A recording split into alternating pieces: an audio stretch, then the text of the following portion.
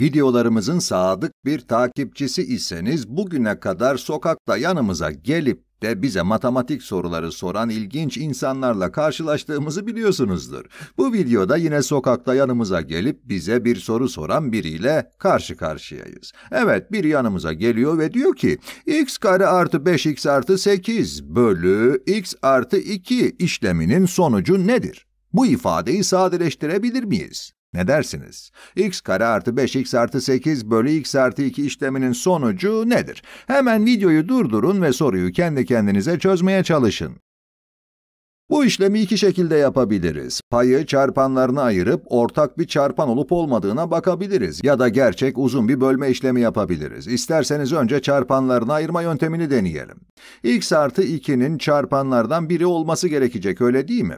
Bir bakalım. Toplamları 5, çarpımları 8 olan iki sayı hangileri olabilir? Sayılardan birinin de 2 olması lazım değil mi? 3 ve 2 olur mu? 2 çarpı 3 6'ya eşittir 8'e değil. Hmm. Aklıma bunlardan başka bir sayı da gelmiyor zaten. Yine de bir miktar ilerleme kaydettik sayılır. Şunu baştan yazayım. Evet, x kare artı 5x. 8 yerine eğer burada 6 olsaydı bu x artı 2'ye tam bölünürdü öyle değil mi? Bunun için buraya önce artı 6 sonra da 8'e tamamlamak için bir de artı 2 yazacağım.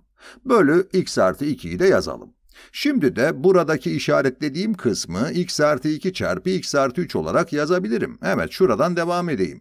x artı 2 çarpı x artı 3 artı 2 bölü x artı 2. Bunun yerine buraya ve buraya birer x artı 2 de yazabilirim. Buraya kadar bu ifadeyi ikiye ayırıp tüm ifadeyi iki kesir olarak ifade ettim. Sonra birinci kesir için x eksi 2'ye eşit olmadığı sürece, eğer eksi 2'ye eşit olursa tanım kümesini değiştirmiş oluruz öyle değil mi? Evet x eksi 2'ye eşit olmadığı sürece bu ikisi birbirini götürür. Başka bir deyişle payı ve paydayı x artı 2'ye bölebiliriz.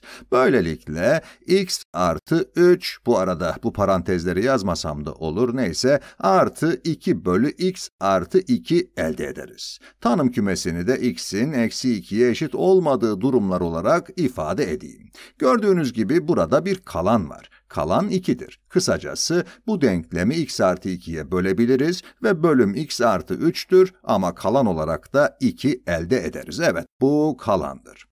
Yaptığım bu işlem zor olmasa da bu şekilde bakıldığında tahmin etmesi çok da kolay bir durum gibi değil. Bu yüzden böyle durumlarda uzun bölme işlemini yapmak işin mantığını anlayabilmek adına çok daha mantıklıdır. Denemek ister misiniz? Bu arada videoyu durdurup bölme işlemini kendi kendinize yapmayı da deneyebilirsiniz x kare artı 5x artı 8'i x artı 2'ye böleceğiz değil mi? Dereceleri en büyük olan terimlere bakalım. x kare ve x x karede x kaç defa var? x defa. Evet, x'i birinci dereceli terimin altına yazacağım. x çarpı 2, 2x eder. x çarpı x de x kare.